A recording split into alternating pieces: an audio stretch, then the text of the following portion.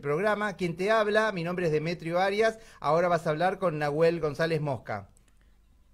Hola María Antonieta, bueno, un gustazo tenerte eh, esta tarde, ahí te vemos rodeada de, mucho amor. Sé que tenés, eh, hay, una habitación en, ah, tenés una habitación en tu casa que vos la llamás algo así como una especie de museo de, ego, ¿no? Como de museo de amor. Exacto, exacto, se llama la egoteca. La egoteca. La egoteca, mira. ¿Y qué tenés ahí en la egoteca? Mira, eh, en la egoteca tengo de todo. Tengo desde mis primeros premios, cuando yo era niña, que empecé a trabajar a los seis años. Entonces, mi primer premio importante fue que me nombraron la mejor actriz infantil por una telenovela que se llamó eh, Senda, no, no fue Senda Prohibida. Em, la primera telenovela que hizo don Ernesto Alonso, Estafa de Amor, yo trabajé en esa telenovela, hice un papel muy importante, pero las telenovelas eran muy cortas, eran de 18 o 20 capítulos, no más. Entonces yo habré trabajado en unos ocho capítulos, mientras la principal, que iba a ser Jacqueline Andere cuando era grande, era la niña y yo era la niña. Y cuando ya crecía era Jacqueline Andere y me premiaron como la mejor actriz infantil en la otra telenovela, en la siguiente, donde yo iba a ser igual a Jacqueline Andere cuando era chica, pero era un papel de niña muy mala. Pero mala, mala. Y ahí me nombraron la mejor actriz infantil dramática cuando yo tenía seis, siete años. Siete años, impresionante. ¿Qué, conexión, ¿no? Con eso empecé Qué conexión con la niñez, porque después eh, llevaste a, después con, el tiempo en tu carrera, se llevó a esa niñez, a esa chilindrina, por ejemplo, a ese personaje de una eterna niña de 8 años, lo llevaste durante toda tu vida. O sea que hay mucha conexión con la niñez, con los juguetes, con lo lúdico. Sí, sí, sí. Y antes también hice una telenovela, cuando ya tenía yo 18 años, hice una telenovela también de niña. Mira. Esa se llamó Em, amor, no, Diario de un niño. Ajá. El diario de un niño. Es una telenovela, e, es un libro clásico para niños que hay en las escuelas. Y esta telenovela se trataba precisamente de, de, una escuela donde había muchos niños y muchos de los niños tenían que viajar, porque era de, época, tenían que viajar en tren para ir a la escuela y una vez el tren se descarrila y esta niña se muere. Entonces era un papel muy dramático, por supuesto, y muy bonito. Y fue un orgullo para mí que el director, que era un gran, gran actor, el señor Enrique Rambal, que él era español, pero se vino a México desde muy chico, y aquí en México hizo su carrera, dijera, es el primer programa infantil donde no hay gente grande, todos son niños actuando y de qué manera les enseñan a los grandes. Y cuando me felicitó, le dije, ay señor, pues muchas gracias, pero yo soy de los enanos que dice usted que, andan por ahí. Porque así los llamaba él, esos enanos que andan por ahí trabajando de niños. Claro. Y al ratito me tocó también ser uno de los enanos que andaba trabajando de niños. Entonces fue mucho orgullo. Y después... telenovela, pero nada que ver con la chilindrina, ¿eh? absolutamente nada. Era una niña normal, común y corriente, que la querían mucho sus amiguitos y todo eso, y le lloraron mucho porque del accidente ella fue la única que falleció. Ah. Entonces fue un papel muy bonito. Entonces, bendito sea Dios, también por ser dobladora, buena dobladora, me han dado premios, he trabajado en cine, de, trabajé desde muy pequeña, a los ocho años hice mi primera película, que se llamó Pulgarcito. Ay, qué lindo, sí. Con Cesario Quesadas, que era un niño chiquititito. Que, que le hacía de Pulgarcito, y con María Elena Márquez, una gran actriz mexicana, y con José Elías Moreno. Y es una película clásica. Cada año, en el Día del Niño, la pasan todavía en México. Y, Después hice otra película de un cuento, y yo era la princesita, Y la princesita, pues ya, eh, ya era una señora casada con dos hijos. bueno, ahí ya Me pasaste. encanta. Me- esas cosas que tienen los, eh, que tenemos, yo soy actor también, ah, eh, Sí. y lo que tenemos los actores, ¿no? De que podemos hacer de lo que queramos, siempre que nos dé el physical roll, eh, sale genial. Claro. Sí, claro. por supuesto, por supuesto. Igual como hice, los niños, ahora ya de, de, de, de señora mayor, digamos, ya he hecho papeles que tampoco van con mi edad, porque a los 50 años hice una película, un- una telenovela que se llamó Amores de Chocolate. Ah, mira. Mira. Sí, la hice en Miami. Y por esa telenovela me nombraron en Nueva York como la mejor actriz de, caracterización en papel dramático. Mira. Entonces, qué bonito, porque la hice de una señora de 80 años, arrugada, arrugada, y que no oía, entonces con un cuerno, se lo ponía a su hijo, le hizo un cuerno. Para poder y escuchar. ahí oían, ajá, Ah, y un papel precioso. Ese- e- Pre- es, es hermoso, ¿no? De, de- de tu carrera, esa versatilidad que uno tiene de poder meterse en la piel de diferentes personajes, independientemente de quién seas vos, poder ser una, Claro. una, una- una nena cuando tenés ganas de jugar eso, poder ser una, una adulta mayor. Eh, cuando, cuando te contratan para, para ello también. O sea, eso es muy lindo. Claro. ¿Y, y cuántos años eh, desde que comenzó, desde esa primera eh, oportunidad, recién estábamos charlando que, que tu primer encuentro con, con Roberto Gómez Bolaños, corregime si no es así, en la Sí. tele fue en Los Caballeros de la Mesa Cuadrada, ¿cierto? Exacto, exactamente. Yo estaba trabajando en un programa de comedia también que se llamaba El oso rubiroso. Ajá. Ese, esa serie era de un, era de fantasía, digamos, porque salía un osito de peluche de este tamaño, así, para hacerle la competencia a Topollillo. Claro. Topollillo estaba muy fuerte. Y entonces de Argentina mandaron traer a las personas que hacían el topollillo para que hicieran un osito de este tamaño. Y el osito era muy simpático, caminaba y se enamoraba y hablaba por teléfono. Y, digamos, un, un, un actor más. Y- Pero para doblar a Topollillo, a- al oso rubiroso, nos contrataron a varias personas que hacíamos este tipo de vocecitas y todas probamos Sí. para el oso rubiroso. Ah, mira. Y entre todos los que probamos, me tocó a mí. Me dicen, lo va a hacer María Antonieta de las Nieves. Y dije, ay, qué bueno, ¿eh? Ahora sí que me costó mucho trabajo porque estuve entre los mejores.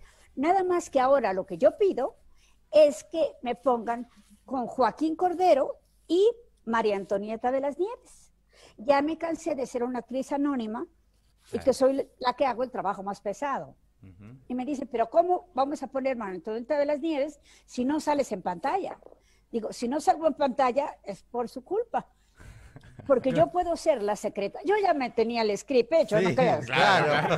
Sí, la, la- la historia ya me la había inventado. Claro. Que yo era la secretaria de Joaquín Cordero, yo salía con él y cuando tenía que estar hablando yo con el osito, porque el osito estaba enamorado de mí y yo estaba enamorada de Joaquín Cordero. Entonces, yo hacía primero la voz del osito y luego yo hablaba con María Antonieta, como María Antonieta de las Nieves, me contestaba el osito, le volví a hablar y cuando yo veía a Joaquín Cordero me quedaba arrobada y ya ni le hacía caso al osito ni nada. Entonces, el director de este programa era amigo de Chespirito y me dice, oye, hoy en la tarde te quiero contratar, te quiero presentar a un señor, no sé si lo conozcas, se llama Roberto Gómez Bolaños. Le dije, Chespirito, le dije, no, de como oído, sí, sé quién es Chespirito, el que hace los scripts de Viruti Capulina. Claro. Dice, pues ahorita está haciendo un canal, un programa aquí en el Canal 8. Este programa era del Canal 8, el que yo te estoy hablando, no era de Televisa. Y entonces le digo, ¿para qué me quiere? Oh, es una sorpresa. Bueno, pues vamos. Pedí permiso, fui a verlo, lo veo, lo saludé con mucha admiración y me dice, quiero que, me gustaría que trabajaras conmigo porque físicamente me das lo que yo necesito. Una jovencita que es muy bonita, que es una adolescente, pero que es muy tonta. Le digo, ah, entonces sí voy yo con ese papel. claro. Ay, Siempre, siempre bromeando. Si es de tonta, sí, sí, sí la hago bien. ¿eh? ¿Y cuántos Yo años? hago el doctor Chapatín. Sí. Le Eso. dije, ¿quién es el doctor Chapatín? Yo no lo había visto. Dice, es un viejito que habla todo con la che, porque no puede pronunciar bien. Entonces, en lugar de decirte mocosa preciosa, porque mocosa en México les dicen a las adolescentes, sí. mocosa. Mocosa preciosa, pero tonta, le digo mococha pechocha, pero babocha. Dije, ¡ah! qué bonito! Lo malo es que a mí no me gusta la comedia, Chespirito. Te lo agradezco mucho. No, gracias. Imagínate. Sí. Yo no soy comediante, yo soy actriz dramática. Y no, yo quiero ser dama joven de telenovela. Porque dije, si puede Verónica Castro, ¿por qué no? Yo no. claro. Obvio. Verónica Castro, de mi misma edad y con mi misma estatura. Claro, No claro. tenía yo la cara de Verónica Castro, o sea, era el único problema. Y entonces me dice Chespirito, ¡ay, qué lástima! Entonces eso quiero decir que no eres buena actriz. Uh, te picó. Te- ¿Perdón? ¿Perdón? Pincho, Sí, imagínate, qué insulto. Excelente Le dije, respuesta. ¿Cómo que no soy buena actriz? Sí, yo me creía lo máximo. Me dice, mira, el que es buen actor, tanto hace la comedia excelente, como el, el drama también lo hace excelente. Tú ya demostraste que el drama lo haces excelente. Ahora nada más tienes que demostrar que la comedia también. Le dije, mira, Chespirito, no sé decir chistes, no sé hacer caras chistosas, no sé hacer viscos, no sé. ¿Qué te puedo decir? Dice, es que tú tienes una idea completamente distinta de lo que es la comedia. La comedia es un buen actor que interpreta un excelente script con un excelente director. Y el director soy yo y el libreto es mío. Tú dirás, Ahí está. Muy bien. uy, espíritu. Tienes toda la razón. Además me dio dos ejemplos maravillosos, Jack Lemmon y Shirley MacLaine. No, Nomás nada imagínate qué calidad más. de actores. Sí. Le dije, pues mira, dame la oportunidad, te hago el primer este programa y ahí tú me dices si lo hago bien o lo hago mal o, o qué necesito hacer. Dice, bueno, me dice, el programa es en vivo, En vivo. no hay, no- en vivo, Mm, en vivo, sin apuntador y con público en el estudio. no. O sea, más difícil no me la podían poner. Claro. El estudio estaba lleno de público. El programa sin apuntador, porque a él nunca le gustó usar apuntador, y en vivo, comedia. Yo dije, Dios mío, qué paquete. Qué paquete. Bueno, me dijo cómo lo debía hacer, lo hice como él me dijo. Claro, me faltaba experiencia porque pues yo nunca había hecho comedia. Entonces, la primera vez que dije yo algo gracioso y se rió el público, ahí me enamoré de la comedia. Qué bueno. Esa Ah. risa se me revolvía en la- el estómago como si trajera mariposas, como cuando uno se enamora, que ve uno a alguien y dice a uno, ay, qué tipo, qué bárbaro, qué guapo, que, que siente uno realmente como mariposas, que algo te tiemble aquí. Así me tembló a mí la primera carcajada. Claro. Ahí se me quitó el miedo, ahí empecé yo hasta a inventar cosas.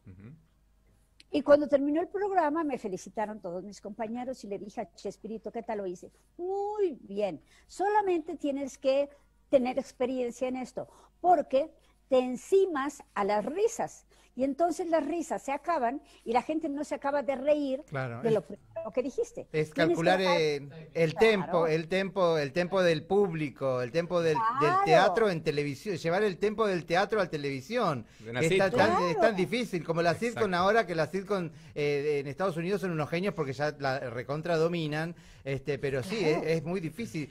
Eh, No, y además en los sitcoms de Estados Unidos ponen risas grabadas. gra- grabadas, Claro, sacar claro. en vivo. claro, y nosotros en nuestros primeros programas con público. sí ponían risas grabadas y no le gustó a Chespirito. Claro. Dijo, no, en mi programa vamos a dejar que se ríe el público, aunque esté en sus casas y no lo oigamos, nosotros tenemos que Y esperar para esperar para retomar. Ahí se, me parece, a ver si se cortó, no, se cortó la comunicación. Ay, qué interesante que está la comunicación, que no se corte, por favor, porque me encanta todo lo que estamos hablando con eh, María Antonieta de las Nieves Me, desde quedé, me quedé con ganas de México. saber a, qué- a- a- a la edad que arrancó, ¿no? El chavo, ella. Sí, No, a, no, a- los veintipico, si no me 20, equivoco, pero ahora, 20 ahora le, le consulto. Yo mientras tanto voy agradeciendo a toda la gente que está conectada a través del Facebook Live, a Magalí Chavarría que ya dije, a Alicia que dice diosa, genia Magalí, Carlos Armando Quintana que manda muchos aplausos por, por nuestra entrevista del día de hoy, Rosa Ridolfi que también está conectada y mucha gente que está viendo que no, que no escribe, pero dice hay mucha gente conectada. Ahí Ah, estamos ahí otra vez con María. ahí estamos de nuevo. Mira, Ya eh. María, María, te voy a decir una cosa.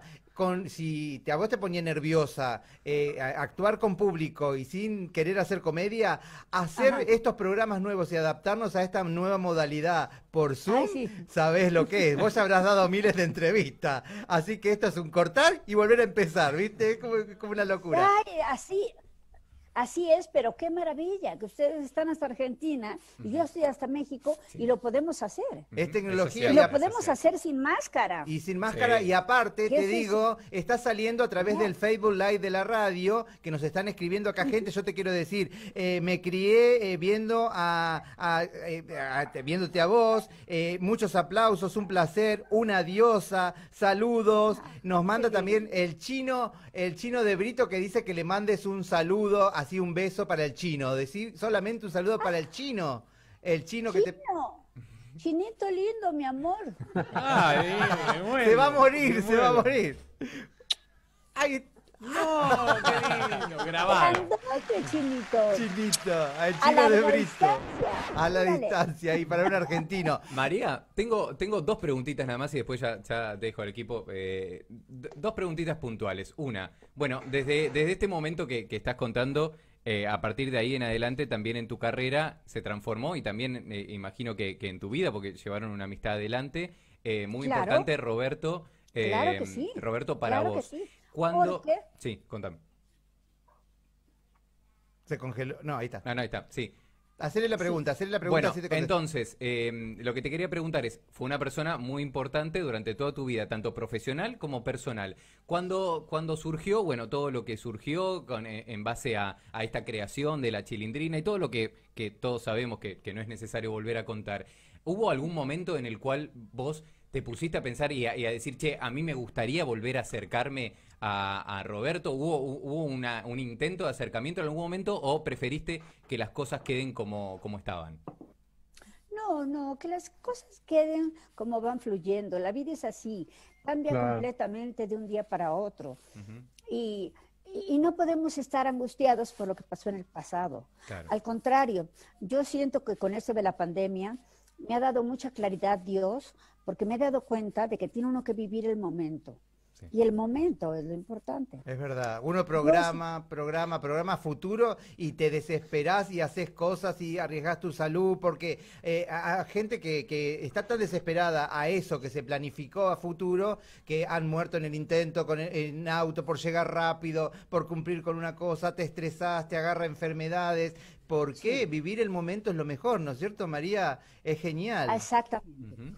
Y déjame decirte que a mí la pandemia me ha ayudado, porque he cambiado mucho mi forma de pensar. Mira. Entonces, todas las cosas negativas o algunas indiferencias que yo tenía con la gente o algunas preferencias que yo le tenía a la gente, se han olvidado. A mí ahorita todo el mundo es igual, a todo el mundo quiero y respeto por igual y espero que igual me respeten y ha sido beneficioso. Aunque no puedo salir de mi casa, he hecho entrevistas, he hecho cosas que jamás se me hubiera ocurrido hacer. ¿Por qué? Porque yo tenía mi vida fuera de México. Yo, mi, mi carrera constante era el circo. Y con el circo llevo 30 años. Y en esos 30 años he viajado por toda la República Mexicana hasta el último pueblito, todo Estados Unidos, todo Argentina. Sí, Es el único país que me lo he visitado desde Comodoro Rivadavia Sí, desde el sur. hasta, hasta, la frontera. Sí, sí. O sea, lindo.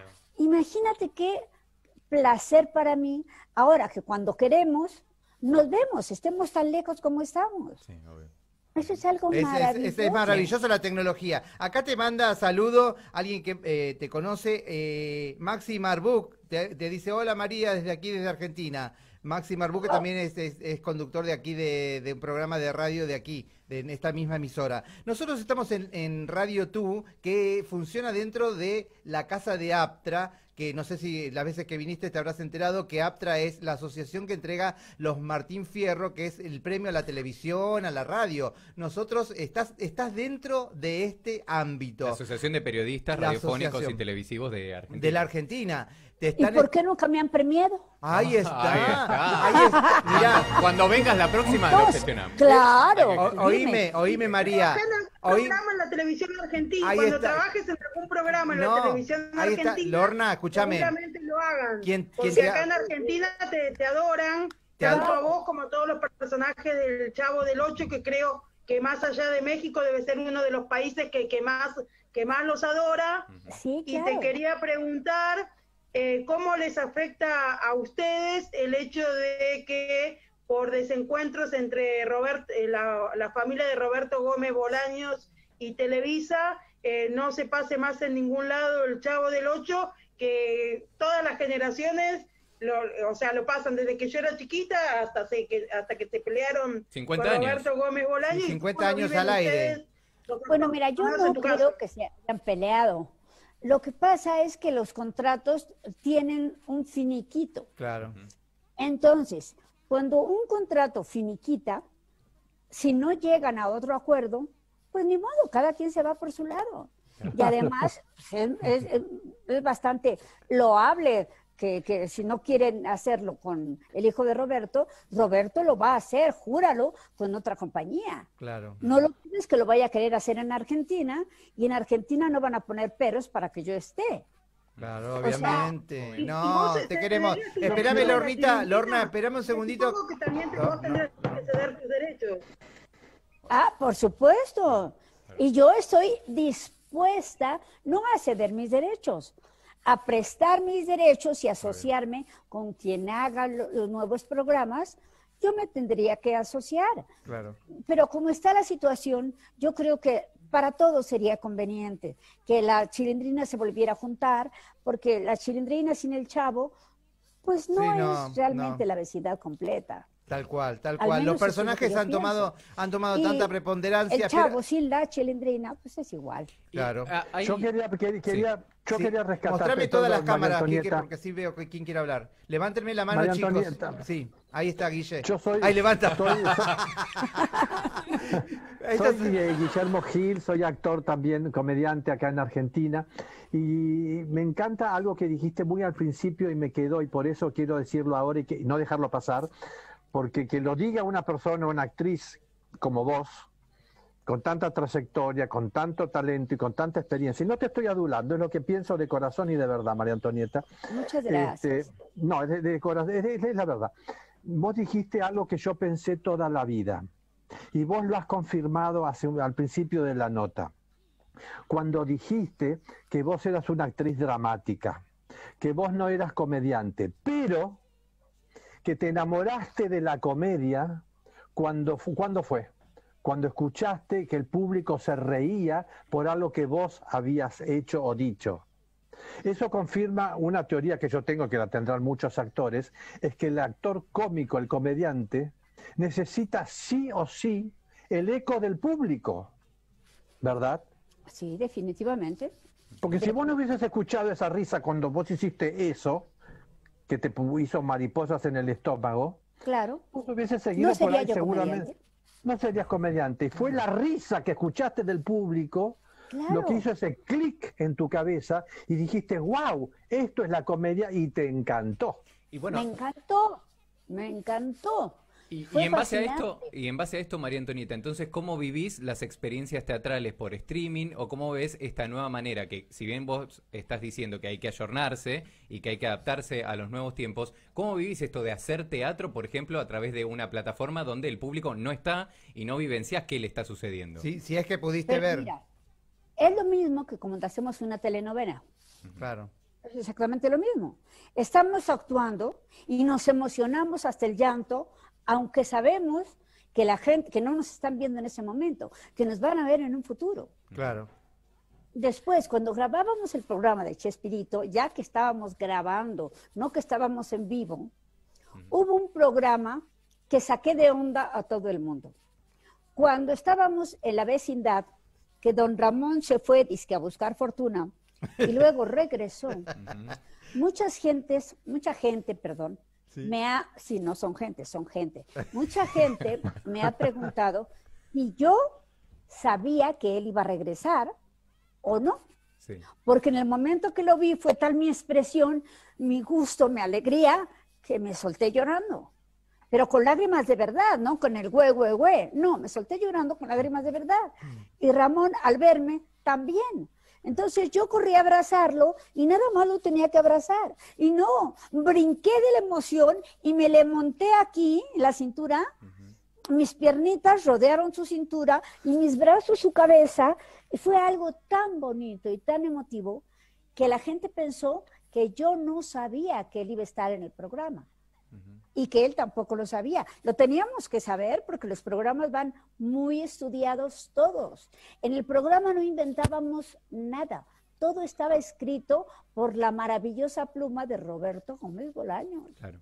Lo que pasa es Pero que... éramos tan buenos actores, ahí sí me estoy echando yo porras, Vamos. que la va. gente creía que era, al y se va.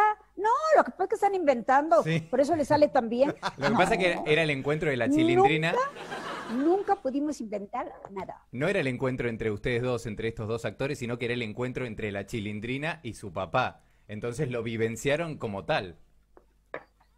Como tal. Claro, claro. Eso es pero precioso. Y para mí, pues también, imagínate qué orgullo el haber dado esa impresión. En el programa del Chavo dos veces lloré como loca. Ese fue uno de los programas. Y el otro, cuando la chilindrina está muy enamorada del Chavo, y es el, el día del 14 de febrero, el día de los novios, que hay una confusión de la carta. ¿Quién le había mandado la carta? Si el chavo me la había mandado a mí o yo se la había mandado a Kiko, Kiko se la había mandado a Patty y en fin, hu- hubo un lío y yo me puse muy triste. Mira. Lo Y viviste. cuando veo al chavo en el final que trae la carta y dice, mira, esta es para ti, bueno, Ay, Eh, por favor. eh, ahorita se me llenaron los ojos de lágrimas, Sí, nada claro, más claro. de pensar en esa escena. Qué increíble. Y en tantos años de, de hacer la chilindrina, em, Ajá. eh, no solo la chilindrina, sino toda tu galería de personajes, pero también la chilindrina, que es un personaje que te acompañó desde ese momento hasta ahora. ¿Hubo algún momento en el cual te pesó este personaje? Decir, no, no quiero hacer más la chilindrina, o no, Nu- nunca vino ese pensamiento a tu cabeza. Una vez, una vez estaba yo platicando con una gran actriz mexicana que fue eh, dama joven y ahora ya era característica, que se llamaba Blanca Sánchez. También era dobladora, también muy buena actriz. Y me dice, le dije, qué bonito papel hiciste. La hacía de una señora borracha que se quedaba tirada en las calles por tristeza porque un hijo la había dejado, no sé, no recuerdo exactamente bien la historia. Y le dije, qué bien estuviste, no sabes las ganas que tengo yo de hacer eso. Y dice, no, y no sabes las ganas que yo hubiera tenido de tener un personaje como el de la chilindrina. El 90% de las actrices hubieran querido un personaje como el tuyo, que dura tantos años vigente y con tanto cariño de toda la gente. Claro. Eso es más maravilloso que querer guardar a la chilindrina en el baúl. Le dije, tienes toda la razón del mundo, Blanquita. Gracias por darme esta lección. Y sí es cierto, que es más difícil hacerle creer a una persona, hasta ahorita, hombre, ya soy una señora de edad muy avanzada. Y sin embargo, cuando estoy en el escenario, la gente sigue creyendo que soy la niña de ocho años que me vieron en televisión. Sí, claro. Claro, la gente sigue con el personaje.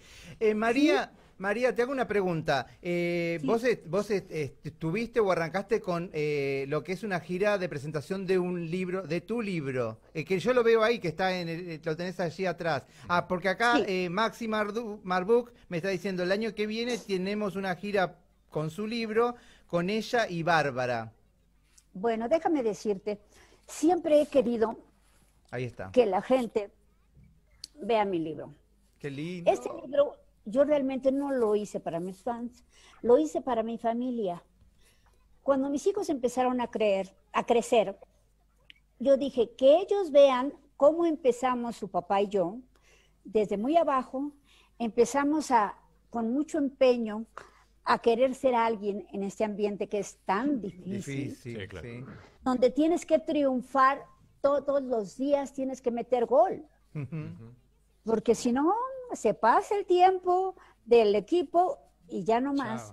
Entonces, empecé a escribir este libro porque era uno de esos tiempos malos en que estábamos en el circo y entró un huracán a Veracruz. En, Ver- en Veracruz seguido hay huracanes y tormentas tropicales. Es un lugar de playa muy bonito, pero sí es muy difícil para hacer, de trabajar.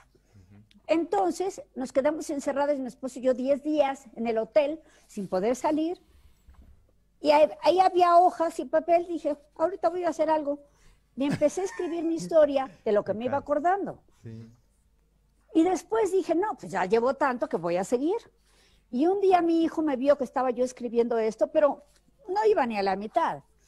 Y me dice, ¿qué es eso, mamá? Le dije, es mi autobiografía para ustedes, hijo. Dice, ¿quiénes son ustedes? Pues tu hermana y tú. Para que sepan lo difícil que es esta carrera, lo, lo que tiene uno que sufrir y dejar a sus hijos, que eso es lo más difícil de todo Sí. y los hijos adaptarse a nuestro trabajo cuando ellos tienen vacaciones. Claro. Sí, Mis hijos, sí. sus vacaciones se la pasaban con nosotros en el circo y trabajaban. Mi hijo vendía fotos de la chilindrina Mirá, y mi hija estaba al pendiente de la taquilla. O sea, toda la familia trabajando.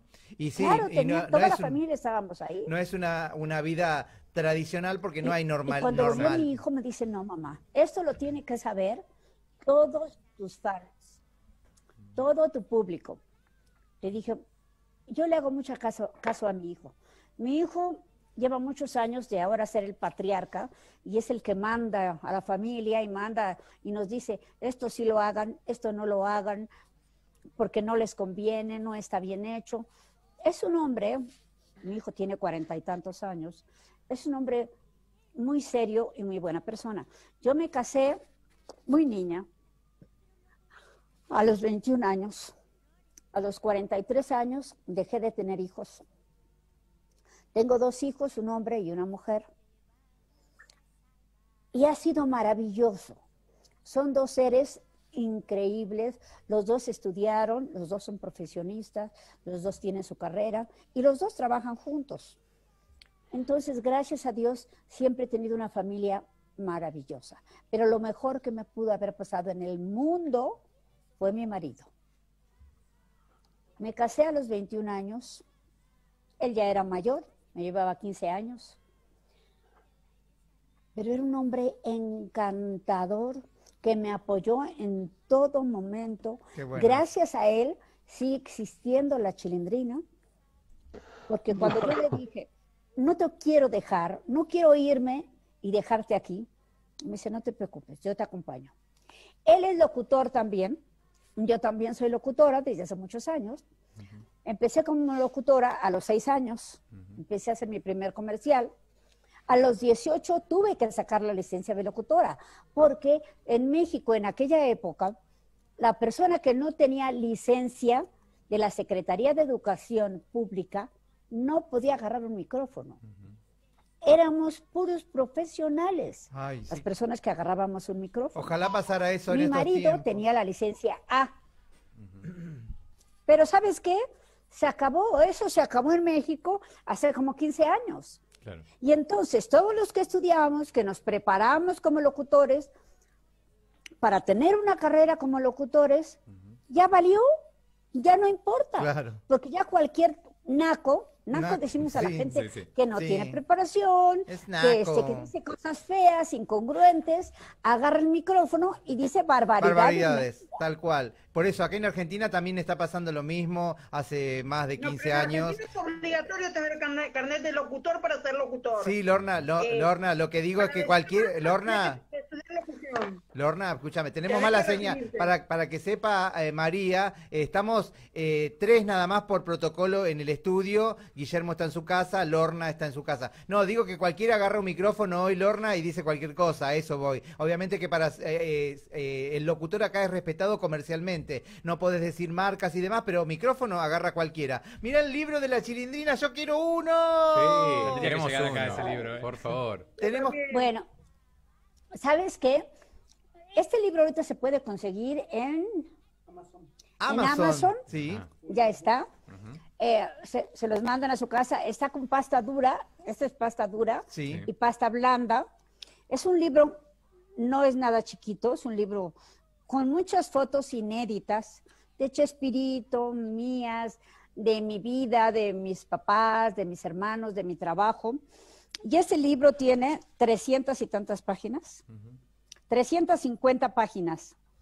Lo terminé precisamente cuando falleció Chespirito.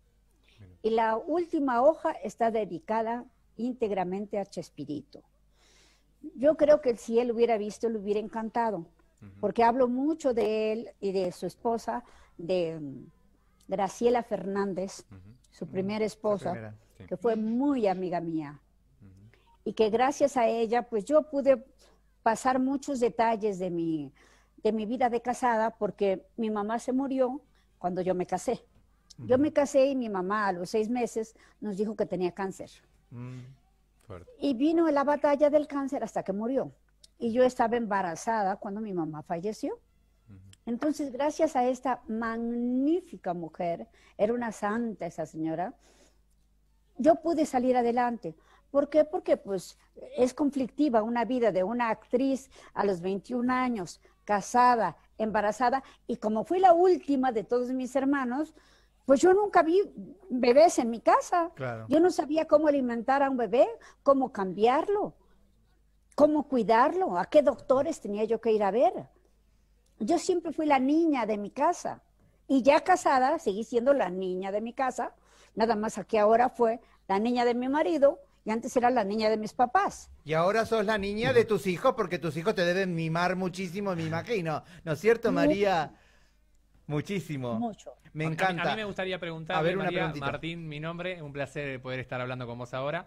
Eh, Gracias, Martín. Me encantaría saber, ya que eh, el 15 de septiembre se cumplió un año del fallecimiento de Gabriel, eh, me encantaría saber cómo, cómo está tu, eh, tu situación hoy en día, tanto de salud por el tema de la pandemia, como también mismo de, de- de- de amor, ¿no? Porque hemos, yo escuché algunas que otras cositas, quería saber, quería que nos aclares, a ver si, si es cierto de que el amor todavía despierta dentro tuyo.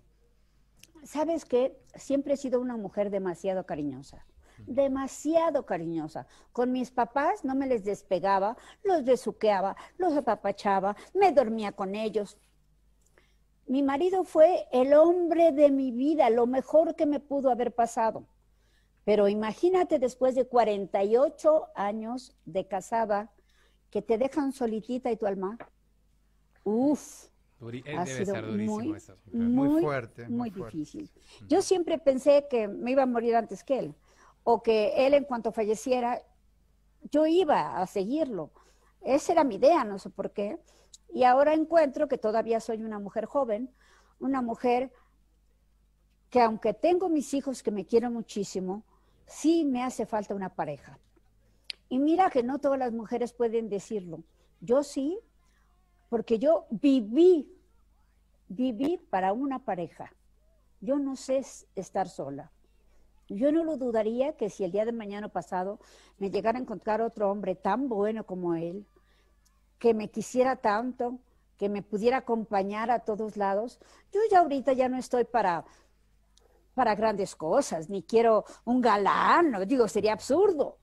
Tal cual. Eh, pero sí un buen hombre que esté libre, por Sí, supuesto. por favor, eh, que no me vengan con problemas. No, con problemas no, María, por favor, te No, pido. no, no, A mí- no, no. a mí me- No, me no, encanta- no, me en no, esta, no. en esta situación en la que estamos viviendo necesitamos gente sin tantos eh, problemas, alguien que ya haya, que tenga los hijos casados, cada uno en sus casas también. Exacto. ¿No es cierto? Por Exacto. supuesto. Así como estoy yo, claro. Por Mis supuesto. hijos son míos y los adoro, pero me vienen a ver cuando yo quiero. Claro, claro, por Claro. supuesto. Te quiero, pero cada cual en claro. su casa. ¿Hoy estás viviendo sola, María? Sí, Exacto. Sí, Muy bien. pero no. Tengo dos personas que me atienden. Era el enfermero de mi marido Sí. y mi asistente, que ha sido de, mi asistente de muchos años, y ellos son matrimonio. Entonces, ahora que se murió mi marido, pues pensaron que yo los iba a separar y les dije de ninguna manera. Yo los necesito a los dos aquí conmigo. Eh, Yo no levanto un dedo en mi casa. Nunca he sabido guisar. No soy ama de casa. Claro. No, yo era otro esposo que llegaba a la casa y que me atendían. Y ahorita, así- sí, sí, si me, si me llego a enamorar de alguien y creen que le voy a lavar y le voy a Sí, no, olvídate. Ya, ya No, se están enterando, no. ya se están enterando, ¿no? Que el próximo. ¿eh? Ya, si es el argentino el que va a conquistar el corazón de María, tiene que saber que tiene que lavar, planchar y cocinar además. Y cocin, no, nada más con que cocine sus Ah, asados ya está. ricos, eso que Todo rico. Sos, fa- sos Con un choripán. ¡Ay, qué rico! Mira, mira. Estoy del otro Ya lado. está. Perfecto. Completita. Vamos a una última preguntita, Nahue, para, ¿tiene alguna preguntita para hacerle a María? Ay, se, le- se- se me ocurrió, no sé, se le ocurrió. Bueno, si no, no, no tiene, sé que las dejaste, pero a todos atónitos porque eh, No, vos tenés sí. que, ¿tenés? Sí. Yo, lo- A lo- ver. Lo, que me gustaría saber es eh, si tenés, bueno, seguramente siempre sos una persona que, que está proyectando, que está generando. ¿Tenés una página de internet donde también la gente puede entrar, estar más cerca tuyo porque hay saluditos? eh, hay saludos donde la gente te puede, de donde la gente te puede pedir, incluso para su cumpleaños un saludo Por de- supuesto de, que sí. de la chilindrina. Tengo tres redes. Tengo el Instagram, sí. tengo eh, mi, el mío personal. Ujú. Ahorita se los digo, ¿eh? me creerán que como yo no me llamo, no me los he aprendido. Es igual que el teléfono, claro, uno nunca sabe el teléfono. Viste, te dicen, me pasaste un número de teléfono y no me acuerdo porque no me llamo nunca. Hoy, hoy ya no se, ya no se sabe. Yo no me hablo. Claro, es, no me en hablo. Instagram es Sí. arroba la chilindrina guion bajo oficial. Ujú. Ahí está. Perfecto. En Twitter es ma.ant de las nieves. Nieves, ahí está. Arroba la chilindrina. Ahí está. Y mi página es www.lachilindrina.com. Ujú. Ahí Y tienen. por supuesto que estoy en todas las redes. Mi manager está al pendiente de todas las entradas que hay y de todos, fu- bendito sea Dios, son muchísimas. Sí. Ya tenemos más de, lo abrimos hace poco, ¿eh? cuando empezó la pandemia, este, inventamos abrirlas, porque si no, ¿cómo me comunicaba yo con los fans? Claro, Claro, no, hay una conexión. La, eh, lo- la tecnología nos da esta posibilidad, como de- decías vos recién, que vos estés en México y nosotros aquí en Argentina, y poder vernos las caras, que es lo más Exacto. importante, no es el teléfono y que viste que tú, tú, tú te quedaba colgado. Ay, sí, es horrible. Bueno. Además, a mí me choca el teléfono. Sí. Toda la vida lo he detestado. Sí. En cambio, platicar eh, personalmente me encanta. Claro, por Hay que supuesto. callar, ya cállate, niña. shh, Ah, ¿Qué cosa? qué co- tranquila, tranquila. ¿Qué cosa en esta carrera tan extensa que tuviste aún te queda por hacer? ¿Tenés algún papel que te gustaría interpretar? ¿Alguna cosa pendiente en tu carrera? ¿O pensás que lo que venga? Lo, lo que venga y que te guste, que te encante en ese Lo que punto? venga y que me encante, eso es lo que voy a hacer. Ahorita eh, me llamaron para una película Ajá. donde no la voy a aceptar porque es de puros ancianos. Eso no me preocupa porque en las tres últimas telenovelas la he hecho de anciana, o sea, no me preocupa la edad. Pero resulta que me querían de esposa de Edgar Vivar. y como se Ah. corrió un chisme en el ambiente Mm, artístico, sí. porque Edgar me vino a ver en mi cumpleaños, Y se dieron un beso ahí. y estábamos con el árbol de Navidad, porque yo cumplo años en, en 22 de diciembre. Estábamos con el árbol de Navidad sacándonos fotos de cuatro personas que estábamos en mi casa. y ya. Y me dice Edgar, yo quiero sacarme una foto contigo en el árbol. Le dije, sí, nada más que no te muevas, gordito. Yo te voy a dar, yo te voy a dar un beso en la mejilla. Sí. Y quiero que se me vea bien mi carita. Y, y- y tú, y tú estás asombrado, ¿sale? Sí, cómo no. Ah, Cinco, cuatro, tres, dos, dos. sí. Se toma. Él volteó para darme el beso porque Ah. creía que yo era la que iba a estar así y él me iba a dar el beso Ah, y yo le dije que al revés. Entonces, él volteó, yo volteé, y nos juntamos ni un segundo. Y la foto Y de noticia mundial. así, de piquito, pero nada que ver. Y Y noticia ja, ja, mundial. ja, ja, ja, fueron las carcajadas de todo el mundo. Sí, no había, un- había alguien que tomó esa foto Sí. y la vendió Ay, a una revista muy no, importante. pues. Y se corrió el chisme de que yo andaba con Edgar, Edgar que antes de no te casarme yo ya había andado Tenía con él. oro, Ay, tenía Dios oro. mío. Ya se inventan todo. Viste que hoy en día es todo un ¿Qué invento cosas? que se inventan todo en dos segundos y ya estás casada y ya ¿En tenés, dos? ya estás embarazada ya también, por, no importa la edad, no importa Fíjate, nada, te hacen No, y embarazada. al contrario, el embarazo se me fue Ah. porque ya de, de que, de que murió mi marido para acá, Sí. he adelgazado 15 kilos. Mira, 15 kilos con mi estatura es muchísimo. muchísimo. Sí. Muchísimo. Entonces ahora estoy esquelética. Ahora no me vayan a decir que tengo el coronavirus y por eso estoy esquelética. Claro, encima. No, no, no, aclaremos bien todo porque para hablar son mandados a hacer. Pero vos igual te sentís con, con una energía bárbara, una vitalidad. Se te ve Yo la veo divina, estás En divina. cámara estás para hacer cualquier personaje, cualquier sí, papel que vos, sí. que vos decidas. Así que te mandamos toda la energía desde acá de Argentina. A ver. Agradecemos a Bárbara Cosio que gestionó esta entrevista y nos atendió Ay, divinamente en tanto tiempo y estuvo muy receptiva a que generemos este enlace. Sí, ella me dijo. Y además me pienso ir de viaje muy, un poquito largo, Ujú, como tres semanas. ujú, Una amiga tiene una casa muy lejos. Y me quiero ir a descansar. Qué bien. No hay teléfono, no hay televisión, no hay nada. No hay Zoom, no hay nada. No, no hay nada. No hay nada. Entonces me quiero ir a, a reponer, porque realmente ahora me tengo que reponer de todo lo que he adelgazado y. pues de tantas cosas. Mi Marte. Ayer bueno. se me murió mi perrita, una perrita Ah, que se llamaba Chiquita, Mm, que tenía 17 años conmigo, wow. son- que viajó a todas partes del mundo conmigo, fue a Argentina. Sí, están las Ella redes, recorrió están las redes sociales, la, la foto. María, Yo lo- toda lo- la lo- buena, toda la buena energía. Vamos a, a- a terminar acá la entrevista. Te queremos mandar toda la buena energía. ¿Sabes por qué? Gracias. Porque hay mucha gente que te ama de verdad, que te quiere por el personaje, que te ha seguido en tus redes sociales, que te ha seguido tu carrera, que te conoce todo esto que vos contás en el libro. Además tenés tus amigos. ten- sab- sabemos nosotros como seres Gracias. humanos que tenemos un paso por esta vida, como los animales, como todo, tenemos un paso. Gracias. Y nuestros seres queridos quieren que nosotros nos pongamos bien y, se- y sigamos adelante con toda la energía por la gente que nos quiere, por nuestros familiares, por nuestros hijos. Así que nosotros te mandamos un beso enorme. Sé que vas a salir con, con energía, te vas a ir a distraer un poco a ese lugar donde vas a estar y te vamos a ver muy pronto, muy pronto trabajando otra vez en, al- en, al- en algo que te guste, ¿sí? En algo que te. Digo, trabajando de actriz, ¿no? Porque vos seguís trabajando todo el tiempo. Todo lo que estás haciendo es trabajo. El, el Sí, sí, libro sí, y demás.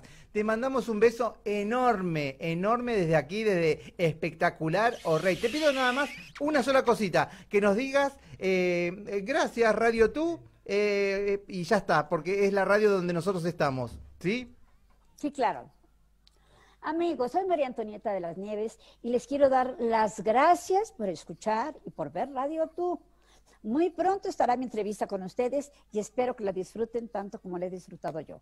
Que Dios bendiga a toda Argentina y sobre todo a Radio Tú, porque es Radio Mi. Miguel. Gracias. Fuerte el abrazo, un beso grande.